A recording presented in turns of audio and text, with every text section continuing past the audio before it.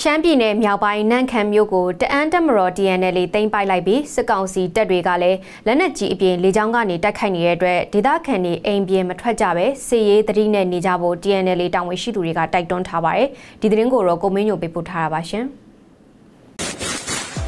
နိုဝင်ဘာလ9ရက်နေ့မှာ Operation 1029စစ်စင်အဖြစ်ညီတော်မဟာမိတ်၃ဘွဲ့ရဲ့တအောင်းတက်မတော် DNL ကနန့်ခမ်းမြို့ကစစ်ကောင်စီရဲစခန်းအပါအဝင်ဌာနဆိုင်ရာရုံးအားလုံးကိုသိမ်းပိုက်နိုင်ခဲ့ပါတယ်။ လက်တလုံးမှာအင်တာနက်ဖုန်းလိုင်းကားလိုင်းတွေအကုန်ဖြတ်တောက်ထားတာကြောင့်ခောက်ဆွဲကြောက်တထုပ်ကို900ကျပ်ကျုပ်တကက်ကို2000ကျပ်နဲ့လောင်စာစီအပါအဝင်ကုန်စည်နှုန်းတွေအစမတန်ဈေးတက်သွားခဲ့ပါတယ်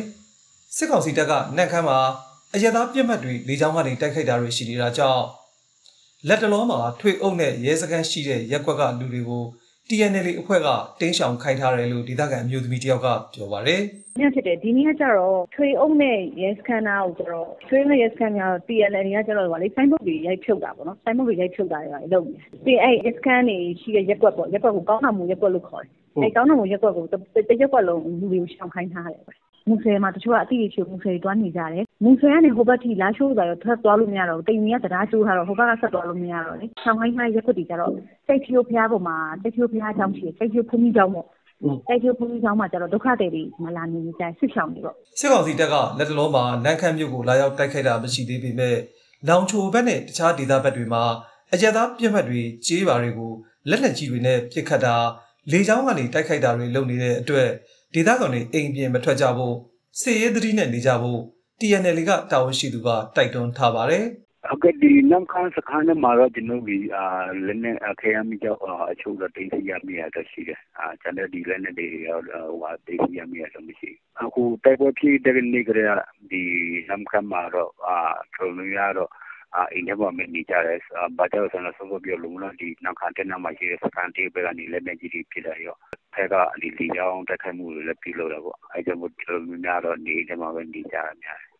လက်ရှိဒီနန်ကမြို့ပေါ်မှာတော့ဒီကျွန်တော်အဖွဲ့ကိုဆောဆောပြောလို့ကျွန်တော်ဖွဲ့နေရယူထားပြီးသားဖြစ်တယ်ဒီဘီလူအနေနဲ့သူတဖြစ်ကတော့ဒီတဲပွဲ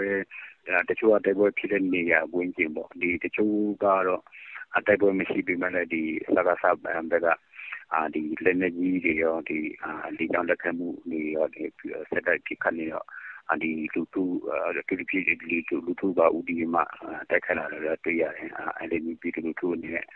အဒီတက်ပွဲဖြစ်ပေါ်တဲ့နေရာရပ်ဖို့နဲ့ဆောင်ရှားတွာလာတွာလာဖို့ဆောင်ရှားဖို့နဲ့အာရပ်ပဲတက်ခဲမှုတွေရှိတတ်တော့ဦးအတွက်အလက်လက်ကင်းဖို့ရှိတီနဲ့ဝန်ဒီချဖို့တော့အာလိုအပ်တယ်ဘောနော်တိုက်ပွဲတွေနိုဝင်ဘာလ9ရက်နေ့ညပိုင်းထိနန့်ခမ်းမြို့ထဲမှာဖြစ်ပွားနေကြတာပါအဲ့ဒီရဲ့မတိုင်ခင်ကလည်းစစ်ကောင်စီကလေကြောင်းကပစ်ခတ်တာကြောင့် အစာအုပ်တချို့ထိခိုက်ပြီးအရက်သားတည်ဆုံမှုတွေလည်းရှိခဲ့ပါတယ်ဒဏ်ရာရသူတွေကတော့နန့်ခမ်းစေယုံကြီးမှာရှိနေကြပြီးလက်တလုံးမှာတော့ထွေအုပ်နဲ့ရဲစခန်းရှိတဲ့ရက်ကွက်ကလူတွေကို TNL အဖွဲ့ကတင်းရှောင်ခိုင်းထားတယ်လို့ဒေသခံအမျိုးသမီးတယောက်ကပြောပါတယ်။နန်ခမ်းမြို့ကို TNL တပ်ဖွဲ့တွေမသိငင်ကလေးကစစ်ကောင်စီတပ်ကအင်တာနက်နဲ့ဖုန်းလိုင်းတွေဖြတ်တောက်ထားခဲ့ပါတယ်။မြို့မှာရှိတဲ့အစ္စလမ်ဘာသာဝင်တွေရဲ့ဝတ်ပြုရာဗလီကိုလည်းတက်ဆွဲပြီးပိတ်သိမ်းထားခဲ့တာကြောင့် ဘသူမှဗလီကိုမသွားရကြဘူးလို့ဒေသခံတယောက်ကပြောပါတယ်။အင်္ဂါနဲ့တွေပုံဖြတ်ထားတယ်ဖုန်းလိုင်းလည်းမပြီးဘူး MPD နည်းနည်းမိတယ် MPD ခဏလေးနည်းနည်းမိတယ်ပြင်ပြန်ပြတ်သွားတယ်။သုံးရက်နေနေလေတွေကပြတ်သွားလိုက်တာ။အဲလင်းလာပြီးတော့လင်းနဲ့ဘုံကျဲပြီဆိုပြန်တယ်တင်းအမောင်ချလိုက်တော့တာ။အဲလူကတော့ကြောက်နေတာအဲလင်းပဲ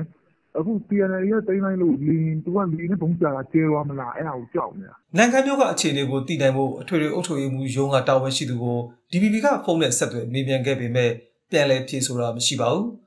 နိုဝင်ဘာလ6ရက်နေ့မှာတော့ရှမ်းပြည်နယ်နောင်ချိုမြို့နယ်ဂုတ်ထိပ်အနီးမှာစခန်းချထားတဲ့စစ်ကောင်စီတပ်နဲ့နောင်ချိုမြို့နယ်ရွှေညောင်ပင်ကျေးရွာအနီးက